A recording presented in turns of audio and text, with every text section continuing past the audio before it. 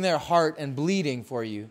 And then because you don't like the way the judges scored it, you're gonna boo the fighter. You're gonna boo that martial arts master. Like it just seems very dishonorable to me, and it upsets me greatly. I have a bit of an issue uh, with the fans of mixed martial arts because of the way they treat the fighters.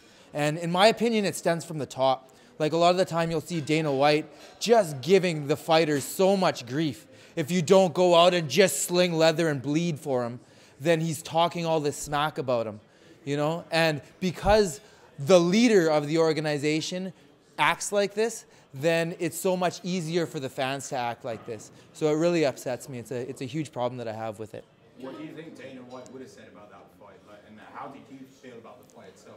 I think Dana probably would have liked that fight. He likes it when people are, uh, are fighting with their heart and not just with their skill. Um, I think that's very easy for, for fans to understand. Uh, whereas sometimes if you're displaying your skill and you're reserving your heart, because that's not a card that you should lead with, in my opinion. You should lead with that card. You should use that card when all else fails. But you have to have it, right? So I think that Dana would have been happy just because we both showed our hearts in that fight. Um, but I, the fans, I believe, it was just they were upset with the way the decision went. They wanted their hometown or, or close town uh, guy to win, and he didn't, so they're upset.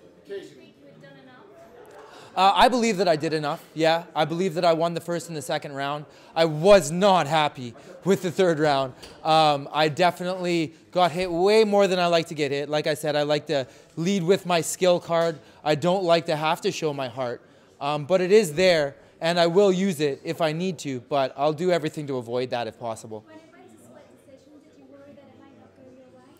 Um, no, I wasn't. I wasn't worried that it wasn't going to go my way. I was. I just accept whatever's going to happen. Uh, I definitely thought that it was possible that it didn't go my way, um, but I. I know that everything happens for a reason. I know that I'm here for a reason. If I win, it's for a reason. It'll. It will serve me to my highest good. Just as as if I lose, it's for a reason, and it will also serve me to my highest good. Cage, congratulations on the win. You said in the cage, as you just said here, you wouldn't have been surprised any which way. But what do you think the difference was in the judges' eyes? What do you think you did a little more on? Uh, I think it just comes down to how you score the second round. Um, I was able to, to hurt him in the second round with the right hand, um, which really, really told the tale of that second round. And then I was also able to take him down.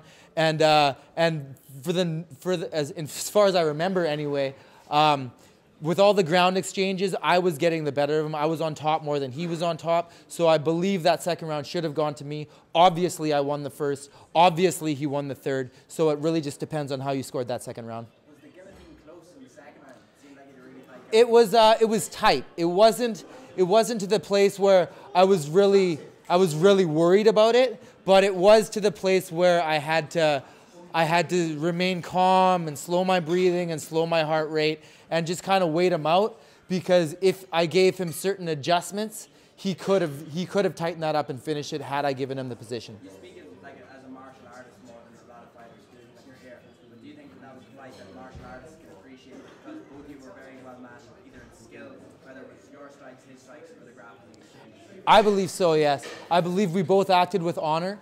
Uh, we were both very respectful of one another, which is the basis of all martial arts um, self discipline and respect and honor. Uh, so I believe that all martial artists, traditional martial artists especially, would, would definitely appreciate that fight. Kajan, you clearly um, have no fear in speaking your mind about how you feel It's true. about, um, you know, how you believe fighters should be respected and by their promoters and so on. What's this thing that you're involved with called Spearhead? Uh, yeah, so Project Spearhead is an organization, is an organizing effort, right? So we are not necessarily a union effort. Uh, we are an organ. We're just uh, organizing a collection of fighters, and then from there we will decide. We will vote uh, and and have a democratic election as to where we're going to go moving forward from that. So.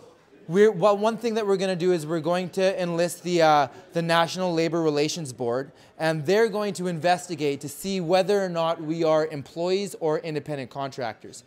But once we figure that out, what they think, then we can go and decide okay, do we want to go down the route of attempting to be recognized as employees? Or would we like to strip away all of the things that make us employees and remain independent contractors and go the Ali route, uh, Ali Act route, and, uh, and, and just deal with it that way? We may do a CBA, we may not do a CBA, we may do multiple CBAs for multiple organizations, because uh, from what I want anyway, and I'm just one man, I'm the interim vice president, but I do by no means have the uh, unilateral say over this. Um, I believe that we should have multiple different organizations, that we should have fighters from Bellator, fighters from Invicta, fighters from the UFC, fighters from ONE FC, and we should all be together and have multiple different CBAs for each organization. And then we're more like, um, structured more like ACTRA or, or SAG. That's the model that I want to direct us towards. But like I said, we're a, we're a democratic group, so I don't have the say. Everybody's going to have to vote, and we'll see what we do. Uh, I would. I was supposed to fight Khabilov um, in this fight, and he ended up pulling out. He had a knee injury, so I'm probably going to take some time off. I don't usually fight more than twice a year. I, I liked about six months in between fights, so that should give him time to uh, come back after his knee injury. Um, and if, if that made sense for him uh, and it made sense for the UFC, I would love to have that fight next.